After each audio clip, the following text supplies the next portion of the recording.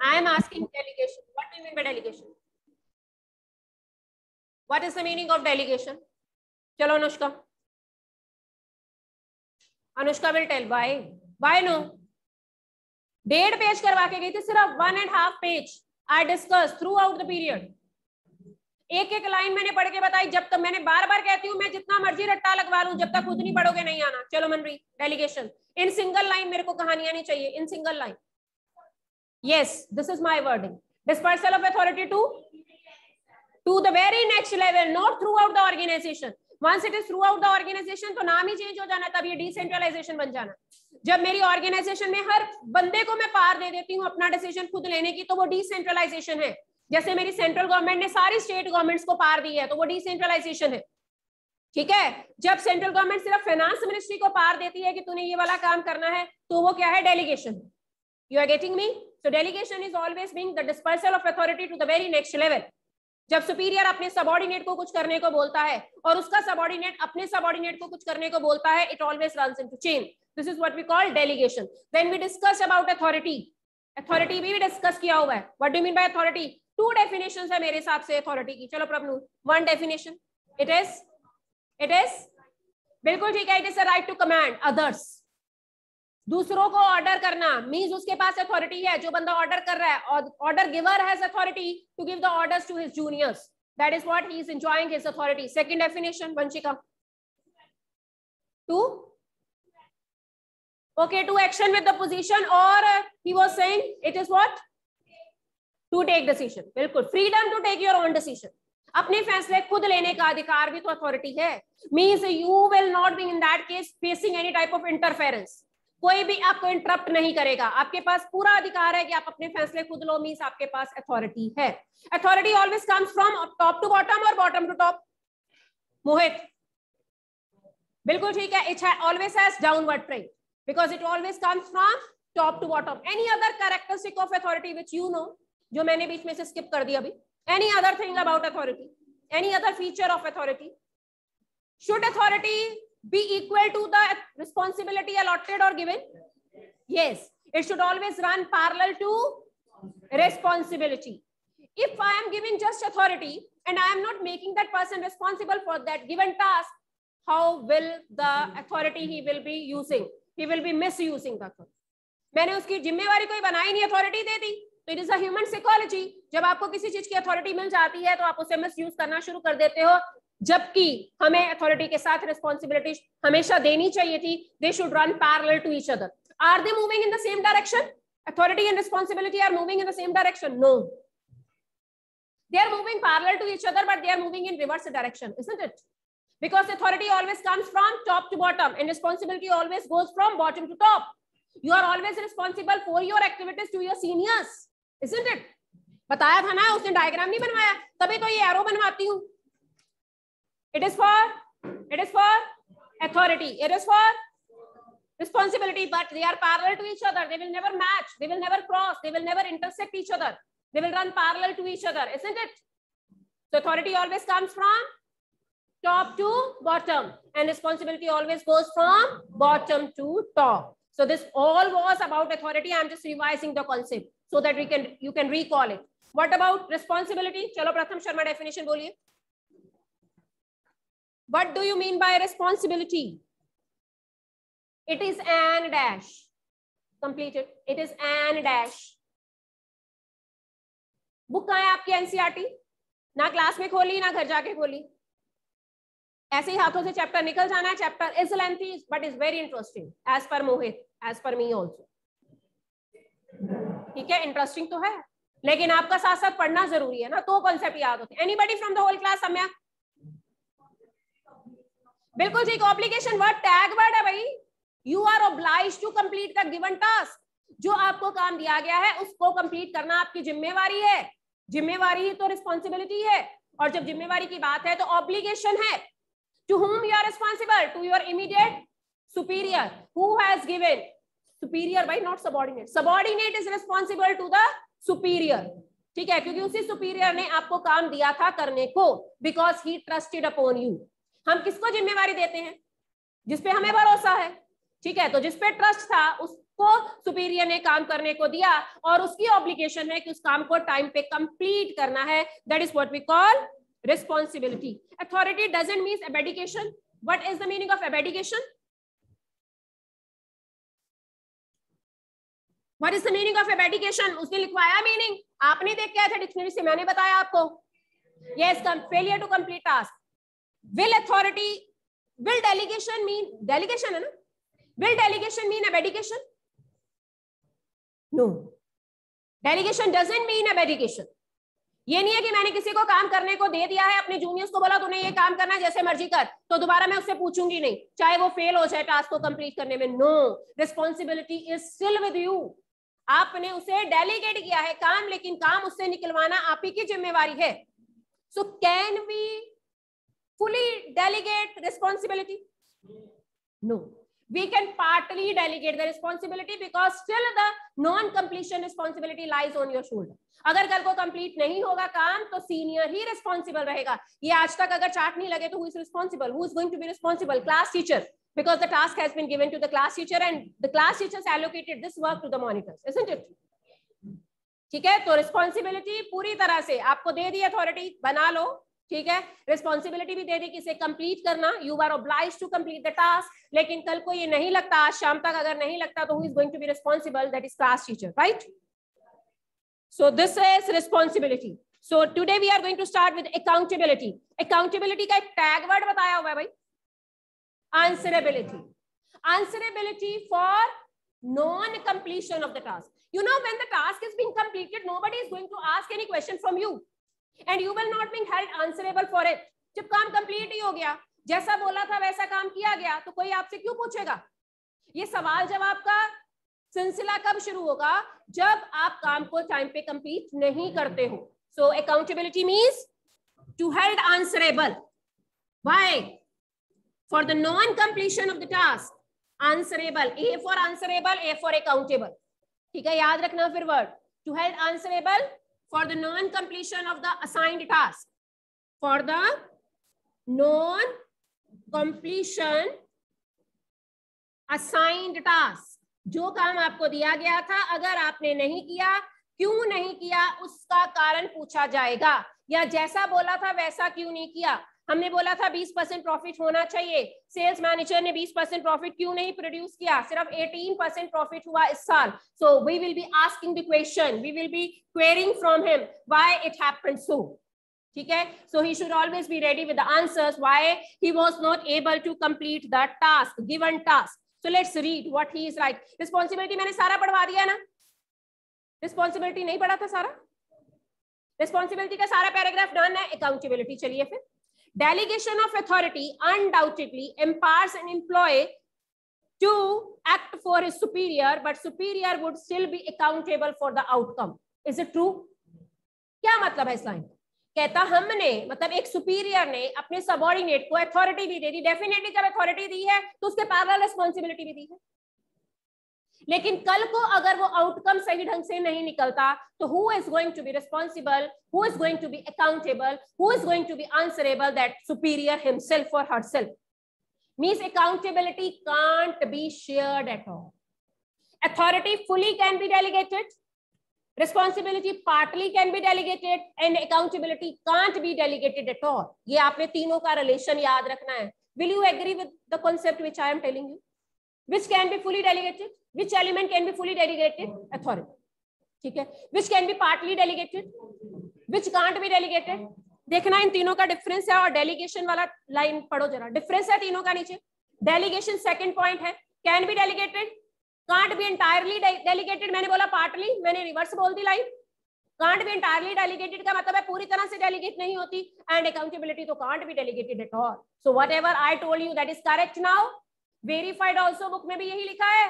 Delegation का तीनों का रिलेशन याद रखोगे आप? चलिए जी, पढ़ते हैं आगे। अकाउंटेबिलिटी इंप्लाइज अंडरलाइन करो बीइंग आंसरेबल मैं बोलती हूँ to be held answerable to held answerable for the final outcome final outcome outcome का मतलब रिज़ल्ट जो हमने आपसे रिज़ल्ट एक्सपेक्ट किया था, अगर वैसा रिज़ल्ट नहीं निकलता, अगर वैसा आउटकम नहीं निकलता you will be held accountable for it जब मेरे को मेरे स्कूल मैनेजमेंट और प्रिंसिपल ने बोल दिया कि कॉमर्स के का हमें हंड्रेड परसेंट रिज़ल्ट चाहिए अगर एक आधा बच्चा कंपार्टमेंट के साथ आता है या फेल हो जाता है इट मीन्स कि I will be held answerable for it why it happened so ठीक है they will be asking the questions from me I have to satisfy them with my answers. This is what I am accountable for it. I am accountable for the final result of my 12th class, board class. This is what we call to held answerable for the final outcome. Sara procedure repeat kar raha. He says, once authority has been delegated, responsibility accepted. Why the word he is not using delegated with responsibility? Usne bola, once authority delegated and responsibility accepted. जिम्मेवारी अगला बंदा लेगा तभी तो मैं उसे जिम्मेवारी दूँगी अगर मैंने किसी इंप्लॉय को बोला you are being in made the incharge of this project but he is very डरपोक किस्म का बंदा है वो रिस्क लेने को तैयार नहीं है और वो कहता है सर मैं नहीं कर सकता ये please excuse me It means he is not, not able to accept the responsibility. So responsibility is always being accepted. I am ready to give in the responsibility to another person, but he is not ready to accept it. कई बार होता है ना हमने ये chart बनाने का काम दिया और कोई कहता है कि नहीं मैम मैं नहीं बना सकता या मेरी ड्राइंग अच्छी नहीं है या मेरे पास टाइम नहीं है तो we never give the work to that person to that student तो रिस्पॉन्सिबिलिटी हम तो देने को तैयार है लेकिन अगला बंदा अगर एक्सेप्ट नहीं कर रहा मीन्स वो करेगा ही नहीं उसे complete so that's why he is using a word accepted with responsibility कहता सीनियर ने अथॉरिटी भी दे दी रिस्पॉन्सिबिलिटी भी अगले, और अगला बंदा मान भी गया, मैं काम करूँगा। Means he accepted the responsibility फिर भी अकाउंटेबिलिटी कभी भी शिफ्ट नहीं हुई अकाउंटेबिलिटी फिर भी सुपीरियर के पास ही रहेगी। अगर कल को वो काम टाइम पे नहीं होता, या गलत ढंग से किया जाता है, या ज़्यादा कॉस्ट लगा के किया जाता है, या ज़्यादा टाइम लेके किया जाता है तो senior will be held answerable for it लिखा ना उसने वन कांट डिनाई अकाउंटेबिलिटी कोई भी बंदा अपनी अकाउंटेबिलिटी से बच नहीं सकता। It can't be delegated and flows upwards क्या मतलब है इसका? What can't be delegated what can't be delegated उसने वर्ड लिखा it can't be delegated what can't be delegated क्या नहीं डेलीगेट होता अभी तो बताया? अकाउंटेबिलिटी फिर उसने लिखा it flows upward what it means responsibility also flows upward accountability also flows upward what it means accountability you are accountable always to your seniors na for the non completion of the task you are always obligatory to your seniors for the completion of the task for the acceptance of the responsibility अगर authority downward trend है तो responsibility और accountability दोनों का upward trend है will you agree ठीक है? Because responsibility is with assigned task related with assigned task and accountability is related with final outcome और दोनों चीज़ों के लिए आप अपने सीनियर्स को अकाउंटेबल और रिस्पॉन्सिबल हैं। आगे चलते हैं। It indicates that a manager has to ensure the proper discharge of the duties by his subordinates. Accountability का मतलब क्या है? कि अगर आपने काम करने को अपने सबॉर्डिनेट्स को दे दिया है, वो भी करने को तैयार है तो आपने टाइम टू टाइम उसकी चेकिंग करते रहना है। क्या उसने अपनी ड्यूटीज़ को डिस्चार्ज अच्छे ढंग से किया है? Is he discharging his duties well time to time उससे पूछते रहो, कितना काम हो गया? ठीक है? क्या काम टाइम पे कंप्लीट हो जाएगा कि नहीं? ये नहीं है कि बिल्कुल उन्हें फ्री छोड़ दो। बेलगाम। And you are not keeping any check over them then it is not sure that they will be doing the work as per your expectations. It is generally enforced through regular feed. Yes, मैंने अभी line बोली regular feedback as well as follow up. What was the meaning of follow up? To check whether the work is being completed as per our desire, the manner, as per our expectation or not. उनसे feedback भी लेते रहो telephonically बात करो या कभी personal visit कर लो उसके वर्क प्लेस पे सरप्राइजिंग चेकिंग कर लो, या सीसीटीवी कैमरास लगे हैं सर्वेलेंस की हेल्प से you can just keep a check over him क्या वो काम कर रहा है, भी है कि नहीं? कितना काम कंप्लीट हो गया है? So such type of check such type of feedback such type of follow up is always to be ensured if you want that accountability is to be furnished on his part The subordinate will be expected to explain the consequences of his actions or omissions. क्यों उसने गलत किया? क्यों वो कुछ भूल गया? क्यों उसने क्यों काम कंप्लीट नहीं किया? अगर आप अपने सबॉर्डिनेट से पूछेंगे तो आपका सुपीरियर भी तो आपसे पूछेगा, क्योंकि आप भी तो उसके सबॉर्डिनेट हैं तो चेन में चलेगा ना सारा कुछ? आपने जिसको करने को बोला, उसने नहीं कंप्लीट किया तो आप कारण पूछोगे। आपसे आपका सुपीरियर पूछेगा कि मैंने आपको ये काम करने को दिया था, आपने डेलीगेट कर दिया नो मैटर लेकिन काम तो कंप्लीट होना चाहिए था ना। Because every manager has right to get the work done through others manager को सारा काम खुद करने को कभी नहीं बोला जाता उसको टीम इसीलिए दी है कि वो उनसे काम करवाए।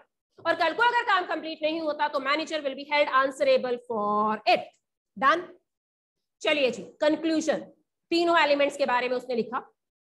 Can be stated that while authority is delegated, responsibility is assumed or accepted, accountability is imposed. Accountability के लिए बिल्कुल सही वर्ड लगाया imposed. जैसे फाइन इम्पोज होता है ना उसी तरह से अकाउंटेबिलिटी इम्पोज है। कल को अगर कंप्लीट नहीं होगा तो आपसे बहुत सारे क्वेश्चन पूछे जाएँगे। हो सकता है आपकी सस्पेंशन ही हो जाए। Because this is not matter to be ignore हम ये जो आपको काम देके बैठे हैं, हम चाहते हैं कि वो कंप्लीट हो तो आप उसे इग्नोर नहीं कर सकते हो। आप उसे टेकन फॉर ग्रांटेड नहीं ले सकते हो। कल को अगर काम कंप्लीट नहीं होगा तो you will be ask the reason for it responsibility is derived from authority and accountability is derived from responsibility. Will you agree? अगर अथॉरिटी है तो रिस्पॉन्सिबिलिटी है। अगर रिस्पॉन्सिबिलिटी है तो अकाउंटेबिलिटी भी है।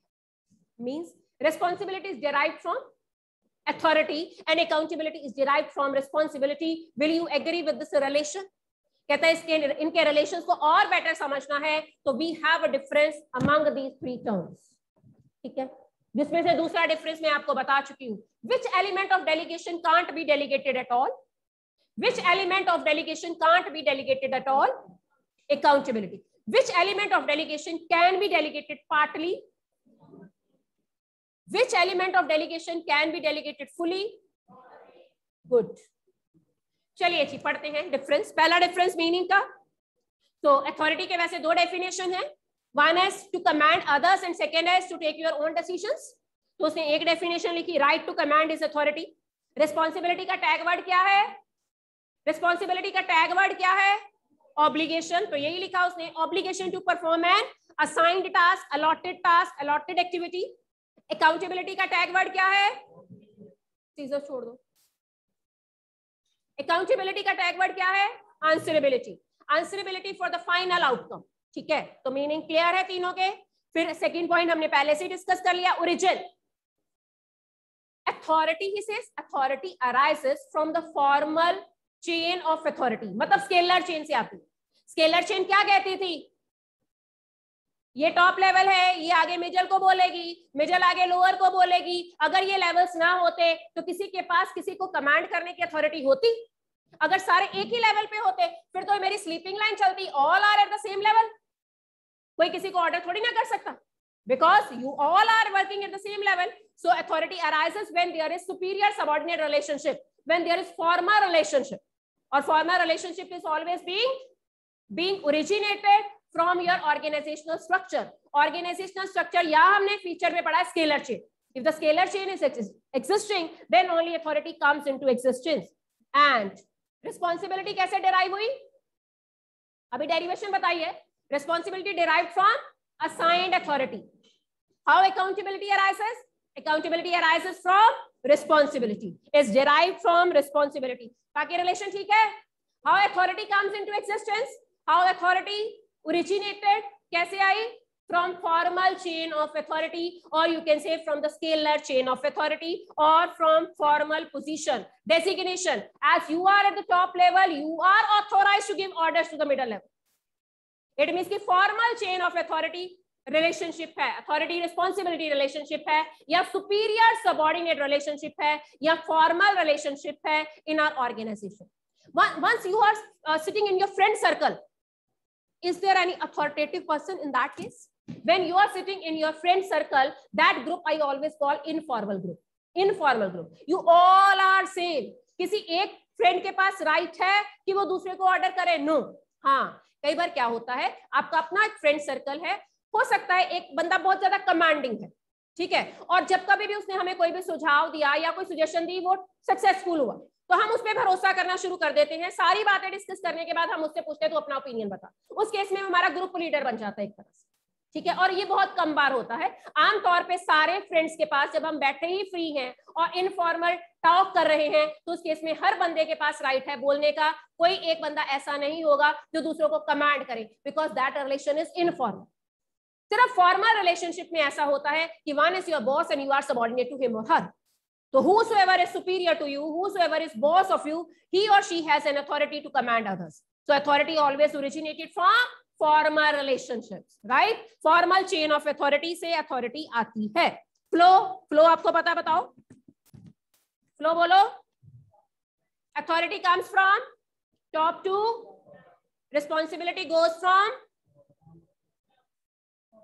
bottom to upward trend hai bottom to top and accountability is also having upward trend so all the points of differences were already clear to you theek hai ji now we are proceeding to the last topic of the chapter which we call decentralization but before decentralization we have few points of importance of delegation सारे concept कर लिए elements कर लिए you tell me the points of importance just read the heading and try to make your own explanation.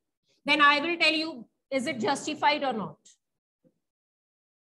Importance of delegation, significance of delegation, or we call it need for delegation. क्यों ज़रूरत है हमें delegation की? Need for delegation, or we call it importance, or we call it significance. तीनों terms का meaning same है. क्यों ज़रूरत है हमें डेलीगेशन की? क्या हम सारा काम खुद नहीं कर सकते? क्यों बांट रहे हैं अपने जूनियर्स में? पहला पॉइंट मेरे अकॉर्डिंग है to reduce the workload of the managers will you agree manager क्या सारा काम खुद कर सकते हैं? उनके पास इतना टाइम है। तो क्या करें वो? रूटीन के मैटर्स और छोटे मोटे काम अपने जूनियर से करवा लेना इंपॉर्टेंट काम और प्रायोरिटी बेस्ड वर्क सिर्फ़ अपने पास रखें और इंपॉर्टेंट काम आमतौर पे फ्यूचर प्लानिंग होती है बजट बनाना होता है और रिसर्च एंड डेवलपमेंट होती है और even to make the policies for growth and expansion so that are the priority based activities which should be kept with the manager himself और बाकी सारे काम उसे डिवाइड कर देने चाहिए among his juniors. To reduce the workload is one of the point of importance. Any other point from your side? बिल्कुल ठीक है। If you want to prepare the man subordinates for the higher post जब आप अपने juniors को काम करने को देते हो तो they will always get a confidence और धीरे धीरे उनका एक्सपीरियंस इतना ज़्यादा हो जाएगा कि कल को अगर हम उन्हें मैनेजर की पोस्ट में भी प्रमोट करना चाहें तो they can easily be set there ठीक है? तो यहाँ पे पर्सनल ग्रोथ है एक तरह।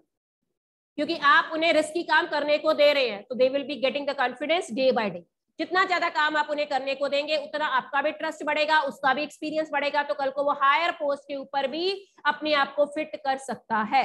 We are preparing them for certain higher post we are giving them certain career opportunities will happen with the delegation. You just imagine if once you are doing everything on your own, you are not delegating anything. Will the system be smooth? आप तो हमेशा busy रहेंगे over busy आपके पास किसी को मिलने की फुर्सत नहीं है। आप किसी से बातचीत नहीं कर सकते हो। आप फ्यूचर के बारे में सोचते नहीं हो क्योंकि आप करंट पीरियड में उलझे हुए हो।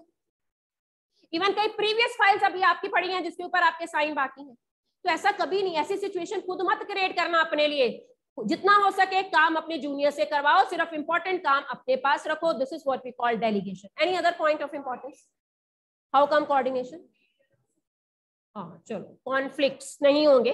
आ, मतलब जो हमारे मैनेजर्स हैं उनके बारे में गलत सोच नहीं बनेगी हमारे सबॉर्डिनेट्स की। सबॉर्डिनेट्स अपने मैनेजर्स के बारे में और सुपीरियर्स के बारे में अच्छा ही सोचेंगे because they are delegating the work among them they are giving them risky ventures और कई बार जब आप रिस्की वेंचर्स अपने सबॉर्डिनेट्स को करने को देते हैं it is a psychology they take it as challenge और किसी सुपीरियर का ये कह देना कि मेरे को तेरे पे पूरा भरोसा तूने कर ही ले you are best according to me ठीक है जब ये एक ऐसा सेंटेंस है जो हर बंदे को मोटिवेट करता है वो उसकी एक्सपेक्टेशंस पे हमेशा खरा उतरने की कोशिश करेगा। तो definitely such type of coordination will be there and there be no conflicts and लड़ाई झगड़े मैनेजमेंट और जूनियर्स में नहीं होंगे कभी कोई स्ट्राइक नहीं होगी क्योंकि हम अपने एम्प्लॉयज़ को इंपॉर्टेंस देते हैं। हम उनको वर्थलेस नहीं समझते। हम उनको यूजफुल uh, एसेट समझते हैं अपनी ऑर्गेनाइजेशन का। That's why we just allocate the work among them तीन पॉइंट डिस्कस करें और बताओ। Any other? हाँ motivation of employees तो है they will get inspired, they will get motivated because we are allocating the work to them. हम उन्हें काम करने को दे रहे हैं, हम उनकी रिस्पॉन्सिबिलिटीज फिक्स कर रहे हैं, हम उन्हें अकाउंटेबल भी बना रहे हैं to some extent though the accountability we can't delegate but we are making them accountable क्योंकि हम उनसे पूछेंगे तो सही ना जब काम कंप्लीट नहीं होगा राइट अकाउंटेबिलिटी वैसे डेलीगेट नहीं होती but we can ask the question from them पहला effective management Who will tell me the meaning of effective first? One word is efficiency, another word is effectiveness. दोनों word chapter number one में किए हैं और उसके बाद कई बार class में डिस्कस किए हाँ। बिल्कुल ठीक है। T in spelling there is a T and T is for time आपको लर्न करने का एक फंडा बताया हुआ है। Effectiveness is always related with the timely completion of the work how effective management is there जब काम को छोटे छोटे हिस्सों में बांट दिया गया और वो हर एक छोटा छोटा हिस्सा एक बंदे को करने को दे दिया डेफिनेटली टाइम पे ही होगा। अगर सारे का सारा काम मैनेजर खुद करता तो डिले तो होना ही था, क्योंकि he is not the master of everything how can he make him busy every time ठीक है? तो this is the meaning of effective management there will be timely completion of the work let's read it क्या लिखा है उसमें by empowering, what is the meaning of empowering? We are just making them authoritative. We are just delegating the authority among them by empowering the employees the managers are able to function more efficiently क्योंकि managers ने अपना छोटा मोटा काम आगे अपने employees को करने को दे दिया है उनकी खुद की एफिशिएंसी बढ़ेगी क्योंकि उन्हें टाइम मिल जाता है इंपॉर्टेंट काम करने का freedom from doing routine work जो छोटे मोटे रूटीन के काम होते हैं वो खुद नहीं करते they just feel free and they can afford their time for the future planning with opportunities to excel in few new areas. वो अपना इंपॉर्टेंट टाइम किस चीज़ में लगाएँगे? एक्सपेंशन में लगाएँगे ग्रोथ में लगाएँगे they will explore the new areas where the companies can go where the companies can launch the new product ठीक है? मैनेजर्स के पास कहाँ टाइम है कि हर फ़ाइल को खोले और चेक करें? ये सारा काम क्लैरिकल वर्क है भाई, करवा लो ना उनसे।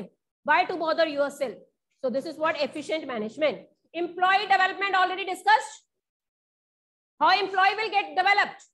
Employee development still two or three minutes are there let me complete this point employee development who will explain re-explain rather employee development human psychology है जब आप उन्हें कोई रिस्की वेंचर करने को बोलते हैं तो they take it as a matter of pride they take it as a matter of challenge ठीक है उस चैलेंज से पे खरा उतरना वो अपनी जिम्मेवारी समझना शुरू हो जाती है उनको लगता है कि अब तो मेरी गुडविल के लिए मेरे को ये करना पड़ेगा otherwise I will not get any name and fame if I want कई बार क्या होता है whosoever will complete it on time he or she will be declared as the best employee of the month. ठीक है तो उस title को लेने के लिए भी कई बार इंप्लॉइज अपने काम को अच्छे ढंग से करते हैं डेलीगेटेड वर्क को तो वो और भी अच्छे ढंग से करते हैं क्योंकि उन्हें लगता है कई बार हमारा इंक्रीमेंट इसके ऊपर डिपेंड है। अगर हम अच्छा काम करेंगे तो हो सकता है हमारी सैलरी बढ़े। So will be uh, an opportunity for them. As a result of delegation employees get मैंने भी opportunity की बात करी उसने भी पहली लाइन में यही opportunity की बात करी employees get opportunities to utilize their talent otherwise their talent is never being explored and once that authority is being delegated to them we are just exploring their hidden talent because it is a fact that every person is a special in this world every person is unique in this world हर बंदे के पास कुछ ना कुछ hidden talent होता है ये सिर्फ़ सीनियर्स पे डिपेंड करता है कि वो उसे एक्सप्लोर कैसे करते हैं ठीक है इतने साल हो गए मिस्टर ए को आपके साथ काम करते हुए मिस्टर बी को आपके साथ काम करते हुए आपने अभी तक उनके पॉजिटिव और नेगेटिव तो जज कर लिए होंगे then only you will be called a good manager एक अच्छा मैनेजर वही है जो साइलेंटली ऑब्ज़र्व करता रहता है अपने हर इंप्लॉय को। उसे पता चल जाता है कि इसको बहुत जल्दी गुस्सा आता है इस, इसका अपनी इमोशन पे कंट्रोल नहीं है and he is a man of the patience ठीक है तो उसे ऐसा काम ही अलॉट करेगा जो दोनों पार्टीज़ अच्छे ढंग से कर सके।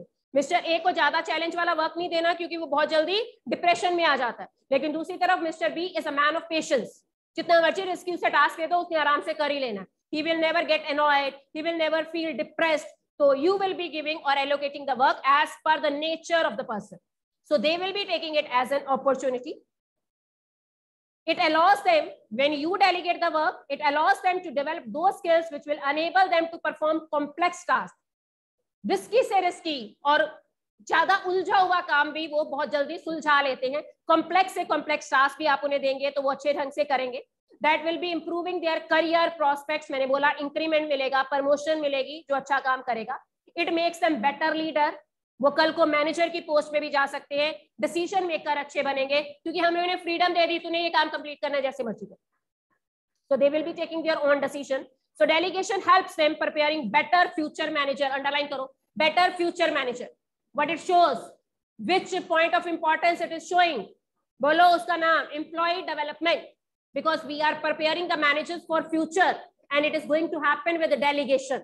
Had you been doing as the work on your own as a manager will they get any opportunity to rise in their career? No क्योंकि सारा काम आप खुद कर रहे हैं, उन्हें तो कुछ करने को दे ही नहीं रहे they will never get any opportunity to rise in their career, right? So delegation empowers the employees by providing them with the chance to use their skill. हम उन्हें एक चांस देते हैं कि वो अपनी स्किल को यूज़ करें, अपने एक्सपीरियंस को यूज़ करें और अपने आप को तैयार करें हायर पोजीशंस के लिए। So this is what we call employees development that is enough for today बाकी कल कंटिन्यू करेंगे।